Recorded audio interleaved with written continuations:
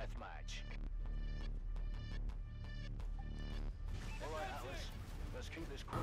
Yo guys, C-Dog here, coming back at you with a Throwback Thursday episode, and by the way guys, this is the very, very, very final episode, I'm just going to throw that out, and we are coming at you today with some Advanced Warfare, I'm just going to throw that out now. Um, before we get started, I'm going to throw the obvious factors out there.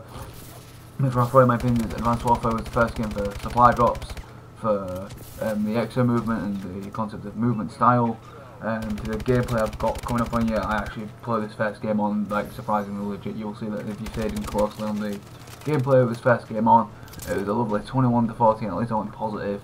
But yeah, um, it's also like the concept of you've got your gun variants as well, uh, which is kind of nice to see.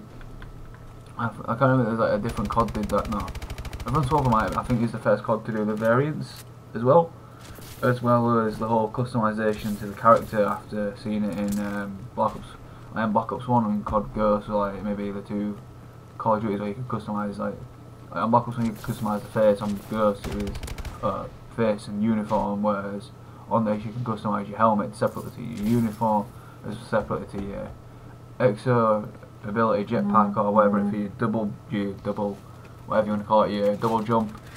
But overall I do genuinely like it as a Call of Duty, like to the concept of what I just said, it is a positive, like from our gameplay, it was a positive gameplay, so obviously I'm taking the fact that I played well, so I actually enjoyed it. Um, it's one of them sort of Call of Duties I could probably sit there, like I was only 4th, prestige level 29 at the time, so I kind of think, oh, I just played it here and there. One the sort of game I could sit there 24-7 grind out, but I did like it. I even like the Exo Zombies, surprisingly. But, yeah, um, I mean, even this, uh, you get your exo abilities, like what I've just pulled up on the screen is your exo, I thought it's called, like, you, can move silently as well, you've got like an exo cloak as well, or something like that, um, where you can use two of them, or maybe use two lethals, meaning you've got your grenades, and everything else on top. Um, as you could, uh, even in the gameplay, like, with your gun variants, like I said, like, a lot of DLC game, gameplay, lot of DLC weapons, you know, were used, I mean, as you can tell on the gameplay, I'm using an MP40, with a red dot, foregrip, and advanced rifling, I think it was. Um, I can't remember, it was like one of the green variants, but I mean, it's only the basic MP40 variant, and I mean, it's the only one I actually had, but I loved it to bits, like, I did really well with it. So, like, the Speakeasy, um, the ASM, what the what's it called? The ASM, oh, one thing like that, SMG where you get is a speakeasy, it's like a Tommy gun I have been wanting that since day one. I was like, like, I do so well with that gun, but I could never get that speakeasy. I was like, what?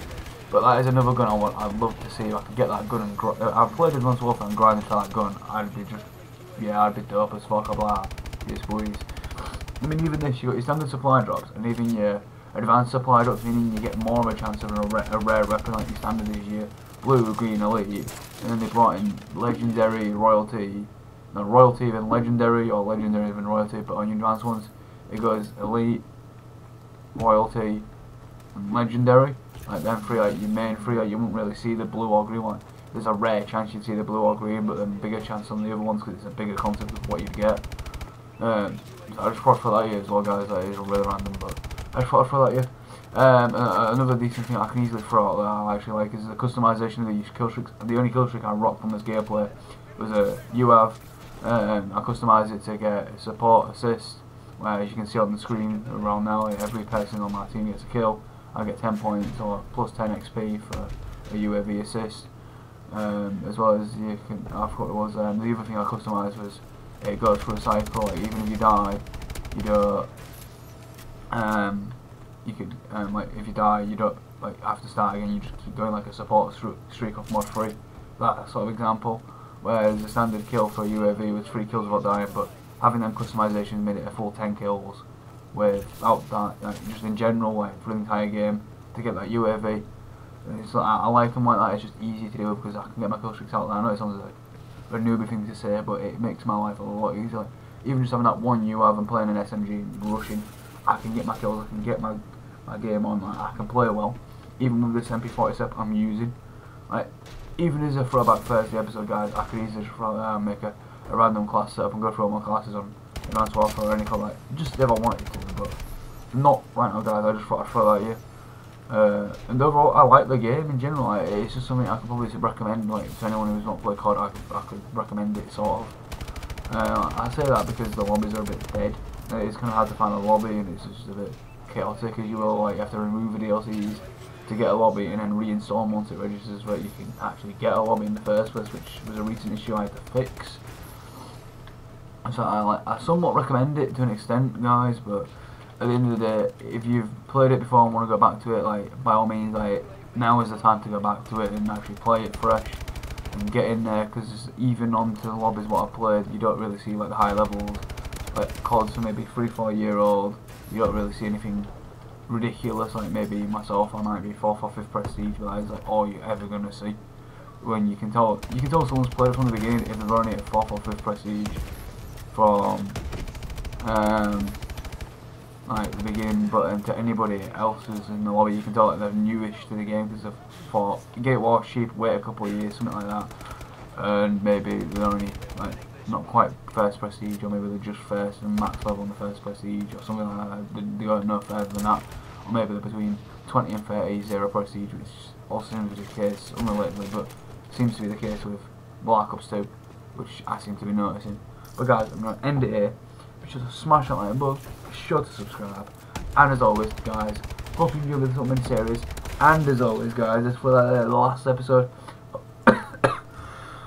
Starting dying right at the end. hope you enjoyed the series.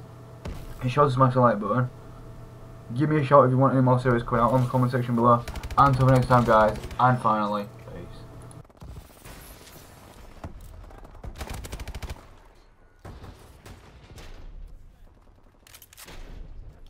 Our UAV is online.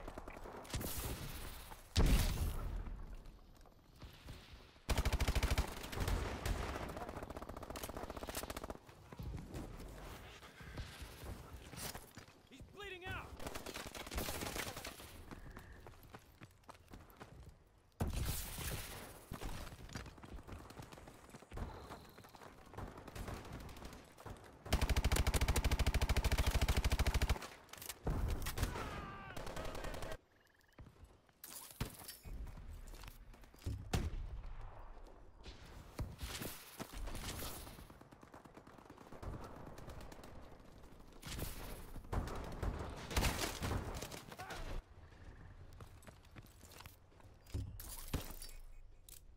Our UAV is online. Good work, team. Irons are good news.